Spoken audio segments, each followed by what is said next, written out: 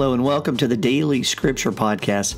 My name is Jerome Lavelle, and I hope that you're having a thoughtful day today. Today we will be looking at Matthew chapter 6, verses 7 through 15.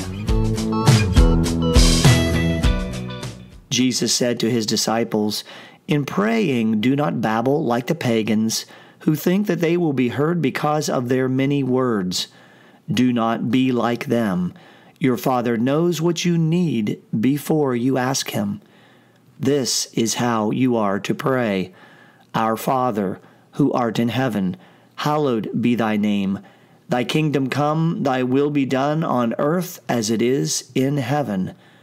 Give us this day our daily bread, and forgive us our trespasses, as we forgive those who trespass against us and lead us not into temptation, but deliver us from evil. If you forgive others their transgressions, your heavenly Father will forgive you. But if you do not forgive others, neither will your Father forgive your transgressions. Today, in the Gospel of Matthew, chapter 6, verses 7 through 15, we hear Jesus speaking to his disciples and instructing them in prayer. He lays out and teaches them what we today call the Lord's Prayer or the Our Father prayer. Like verses are also found in the Gospel of Luke in chapter 4, verses 1 through 4.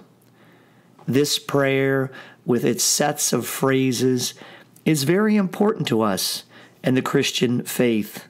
For what is recorded is God in the man of Jesus instructing us on how to pray to God the Father Creator.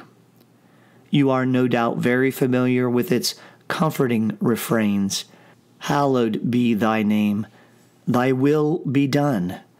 Give us our daily bread. Forgive us our trespasses. Lead us not into temptation. Deliver us from evil. It is no doubt the most widely known and widely recited prayer in all of Christendom, over 2,000 years. We use it at all sorts of life's ceremonies and sacraments baptisms, marriages, funerals, it is also a standard part of many Christian services, especially those with a strong liturgical tradition.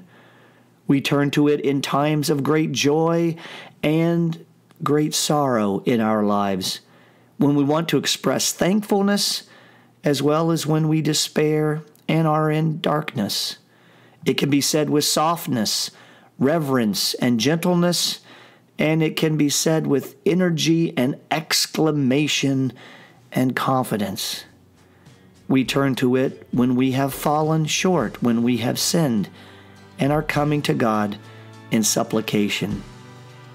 Thanks be to God for this beautiful Lord's Prayer. It sustains us and lifts us to our Father who art in heaven.